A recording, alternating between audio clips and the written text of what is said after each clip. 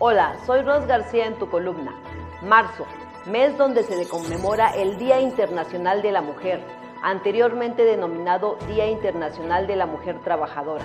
Se recuerda cada 8 de marzo la lucha de las mujeres por su participación en la sociedad y su desarrollo íntegro como persona en pie de igualdad con el hombre.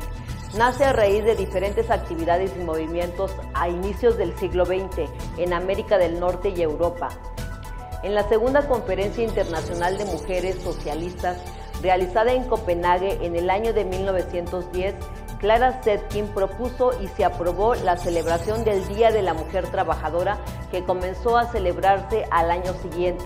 Se realizó el 19 de marzo de 1911 en Alemania, Austria, Dinamarca y Suiza. Desde entonces se ha extendido a otros países y continentes.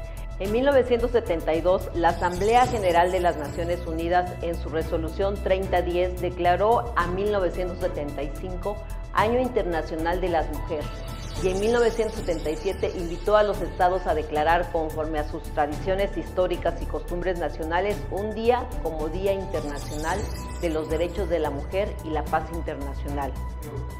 Debido a su origen y a los hechos trágicos del 8 de marzo de 1875, que conmemora esta fecha, no es una celebración festiva, sino un día para visualizar la desigualdad de género y para reivindicar la lucha por la igualdad efectiva de derechos de las mujeres en todos los ámbitos.